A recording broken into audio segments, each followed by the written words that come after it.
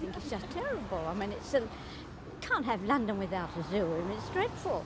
I think it's disgraceful, really, because in London, all the children, all the schools, there's nowhere to go to see the animals. I'm sure the government should be able to do something to uh, support the zoo. It's a terrible shock.